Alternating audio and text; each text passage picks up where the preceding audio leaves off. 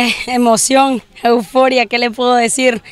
Estamos haciendo historia en este fútbol femenino y agradecidas por porque ustedes han estado aquí también presentes transmitiendo esta gran emoción que tenemos, si se puede sentir aquí en Chinandega. Bueno, de hecho que sí, no vamos a descartar, este Lee es un gran partido, un gran equipo y un subcampeón, un bicampeón, entonces mucha presión de hecho porque cerramos con cero, las porterías con cero, pero pero nos favoreció, gracias a Dios, el resultado que tuvimos ahí en Estelí. De hecho que sí, son, fueron 10 minutos sintieron eternos? sentía que no terminaban y pues de hecho que duele sacrificar jugadoras porque todas estuvieron dando su buen juego allá adentro.